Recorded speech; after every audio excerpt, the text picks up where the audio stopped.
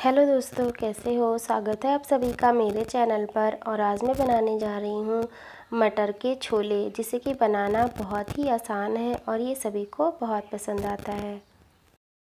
आप इसे अपनी फेवरेट रोटी या फिर चावल के साथ खाएँगे, ये आपको बहुत पसंद आएगा। तो फिर देर ना करते हुए चलिए इसे बनाना शुरू करते हैं। तो अगर आपको आज की वीडियो अच्छी लगेगी तो वीडियो को लाइक कर देना शेयर कर देना और मेरे चैनल को सब्सक्राइब ज़रूर करना और कमेंट करके हमें ज़रूर बताना कि आपको ये रेसिपी कैसी लगी। तो फिर चलिए बनाना शुरू करते हैं।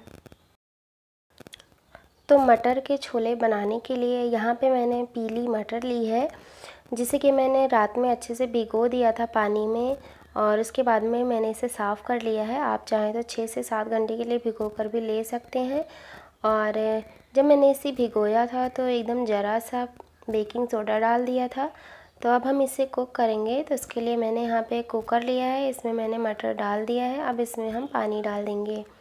तो यहाँ पे मैं एक गिलास पानी डाल रही हूँ। अगर आप चाहें तो यहाँ पे थोड़ा ज़्यादा पानी भी डाल सकते हो।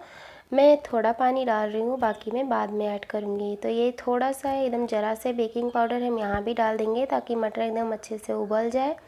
नमक डाल देंगे टेस्ट के अकॉर्डिंग और ये हल्दी पाउडर डाल देंगे ज़रा सा।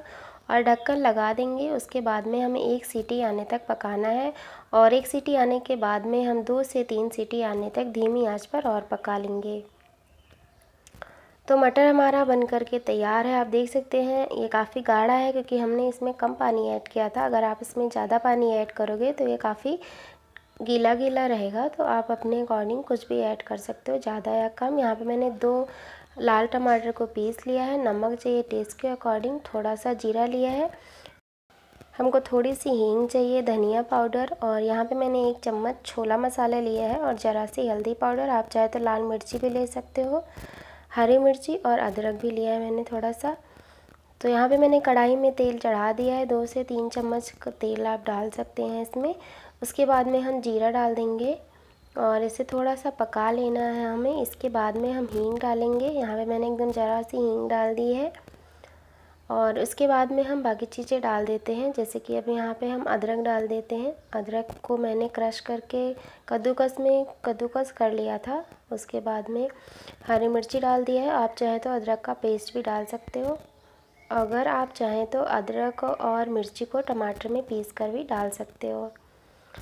तो यहाँ पे हमें इसे थोड़ा सा भून लेना है उसके बाद में टमाटर डाल देंगे। और टमाटर डालने के बाद में हम मसाले भी यहीं पर ही डाल देते हैं ताकि टमाटर के साथ में मसाले भी हमारे थोड़े से भून जाए।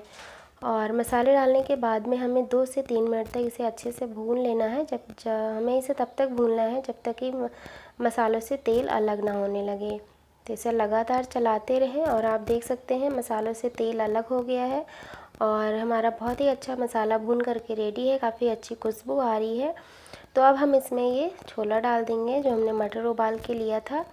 और इसे थोड़ा सा चला देंगे, उसके बाद में हम यहाँ पर पानी डालेंगे। तो पानी आप थोड़ा सा कम या थोड़ा सा ज़्यादा अपने हिसाब से डाल सकते हो, जैसे भी आपको ग्रेवी पसंद हो। थोड़ी सी पतली या फिर थोड़ी सी गाढ़ी। तो यहाँ पे मैंने लगभग डेढ़ गिलास पानी डाल दिया है। और इसमें अब हम नमक डाल देंगे। तो हमने नमक पहले भी डाल रखा है तो इसलिए हमें यहाँ थोड़ा सा है नमक ही डालना है। और इसे चलाते हुए अच्छा सा उबाल आने तक हमें दो से तीन मिनट तक पका लेना है। तो ये अच्छा उबाल आ गया है। अब हम इसमें धनिया पत्ती भी ऐड कर देंगे और बस इसे अच्छे से मिक्स करेंगे और सर्व कर लेंगे। आप देख सकते हैं, बहुत ही आसानी से हमने मटर के छोले को बना लिया है। आपको अगर ज़्यादा तीखा पसंद हो तो आप इसमें लाल मिर्ची पाउडर का भी यूज़ कर सकते हो। आप गरम मसाला का यूज़ भी कर सकते हो। तो यहाँ पे मैंने इसे एक प्लेट में निकाल लिया है। आप देख सकते हो, बहुत ही अच्छा हमारा मटर बन करके तैयार है। हम इसे हरी धनिया से गार्निशिंग कर देंगे। आप चाहे तो नींबू भी इसके साथ खा सकते हो। आप इसे चावल या रोटी के साथ खाइए, आपको बहुत पसंद आएगा। अगर वीडियो अच्छी लगी होगी तो लाइक, शेयर ज़रूर करना, कमेंट कर देना और मेरे चैनल को सब्सक्राइब ज़रूर करना। Thanks for watching. Thank you.